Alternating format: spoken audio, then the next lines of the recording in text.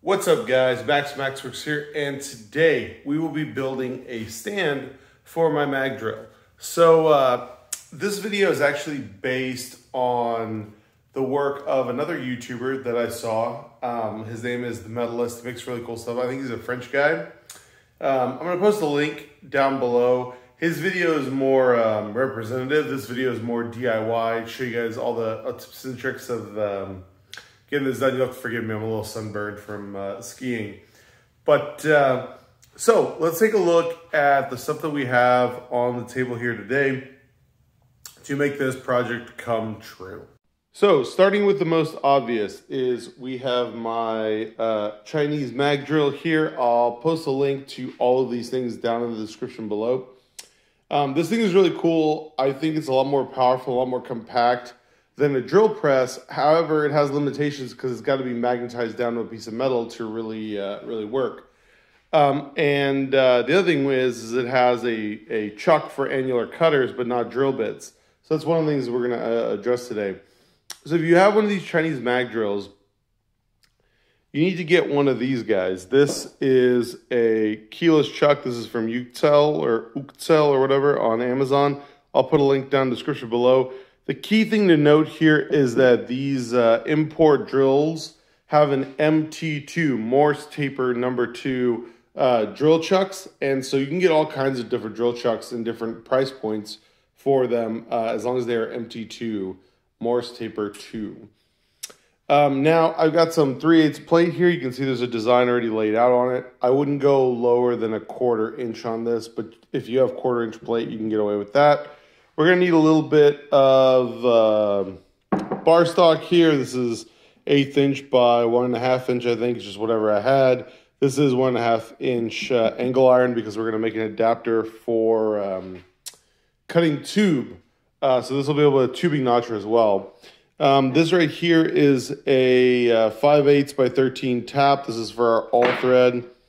This is a 1 half by 13 tap. These are for our vice bolts. This is just a machinist's vise. Um, it'll actually bolt into here. I'll show you guys how that works in a second. Um, but I have this. This is from Harbor Freight. I can't imagine it cost me more than $20 back in the day. Um, this is some 5 8 all thread. I just picked this up at Home Depot.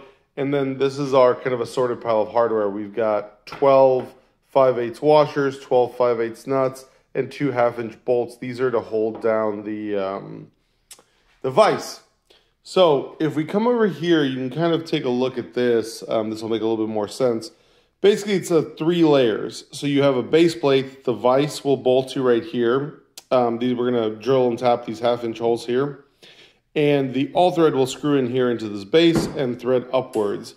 Then over here is the plate that it, the uh, mag drill is going to rest on. We're going to have basically um, little vertical bump stops on all sides so the mag drill locks in. It gives it a place to lock in and these will be 5 8 inch holes and the nuts will allow you to adjust up and down.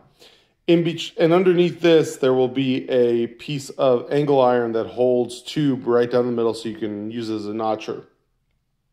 And then these two right here will basically just be straps to hold the bottom of the tube as kind of an intermediary layer. So with that said, unfortunately my um, air compressor pressure switch took a shit on me. I haven't had been able to get uh, replacement parts for it just yet. So we're gonna have to do this the old messy grindery way. Um, so you'll see me wear some uh, PPE that I normally don't wear. Um, but this is kind of a bird's eye view of all the stuff that you need. Uh, it's really not a big deal. However, it does add up fairly quick. You're looking at probably a hundred bucks worth of materials on this table, all said and done, including the chucks and the taps and stuff like that. Um, but this will allow me to use this as a drill press, uh, which is something I've been needing. And frankly, I think this is way better than one of those cheapy Harbor Freight uh, type drill presses. I have one of those. It's in the shed. I almost never use it because it just doesn't have the beef uh, I need in a compact size. And hopefully when this is done, I can use the mag drill as a mag drill, but I can also take it off and use it on the stand um, in order to work on smaller parts. So now that we have everything marked out, laid up, the next step is I'm going to use this 9 16th annular cutter to drill the holes that we're going to use to tap.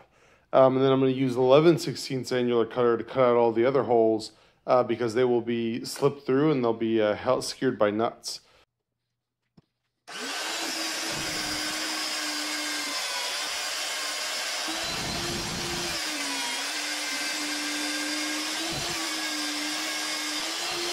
So now that we've got the four, first four holes drilled, we're actually going to thread the rod into these. So I've got my 5 8 by 11 tap. I actually have a nice set of Lisle uh, tap drivers, but not in this size. So we're just using the 10 millimeter.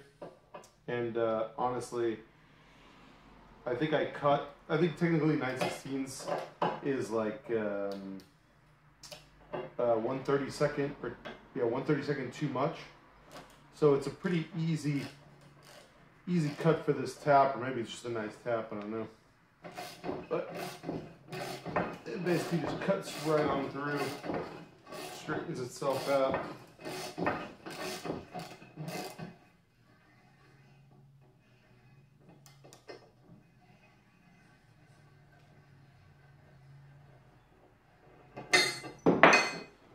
That's all there is to it. I'm gonna tap the other two holes uh, and then we'll drill the rest of it.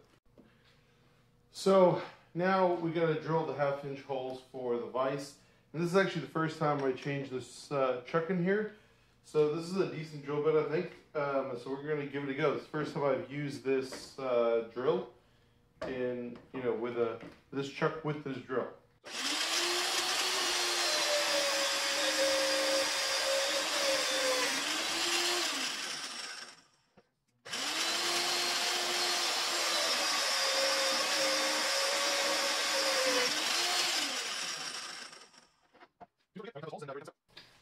Seems to work pretty good. Now we can tap those holes and uh, get ready to cut this out.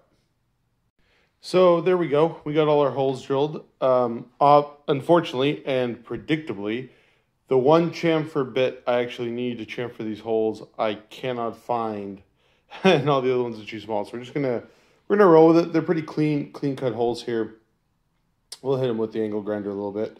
But the next part is my least favorite part, which is we need to cut all of this out. And unfortunately, because my um, plasma cutter is down because I have no compressed air, because Amazon sucks, um, we're going to have to do this the old-fashioned way with uh, angle grinder bits.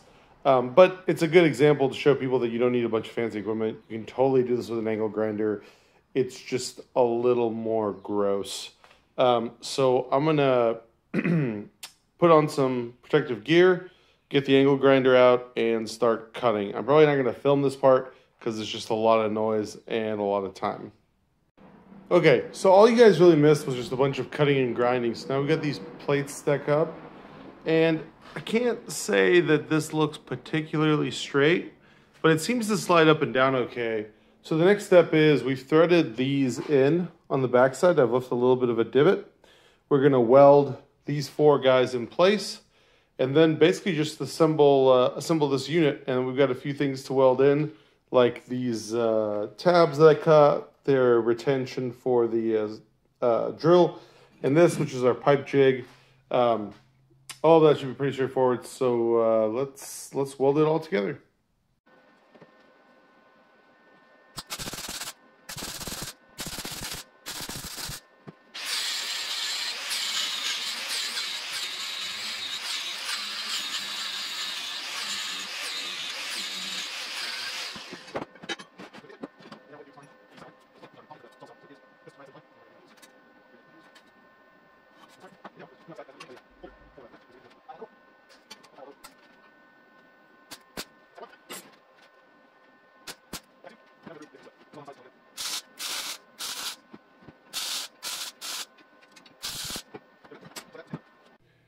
Okay, so here is the final product.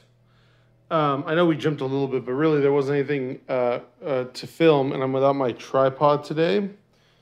Just a mess in general. Basically, I just welded on these little tabs, kind of help uh, locate this guy every time the same way. Um, these bars down here are so that you can pinch a pipe, and if I can bring the phone around, you can see the drill bit goes down immediately in the middle. So if you have a piece of pipe sticking out here, you can have a hole saw in here and then basically drill it out. Um, you know, we have the vise mounted down here. It can move around quite a bit depending on, uh, oops, you know, what's required, or you can take the screws out entirely and obviously move something else around. Um, I have it set a little bit lower right now, so this, this drill bit will actually reach all the way down to the base plate. Um, but you can obviously adjust the height using these screws. So all in all, not a bad little project. Um, this will definitely get used in future videos. Um, if you like the video, hit the like button. If you like the channel, please subscribe. Uh, you know, content isn't as uh, as regular as it once was, but uh, I'm still trying to trying to make good videos for you guys that I hope you enjoy. So that's it. I love you guys. Peace.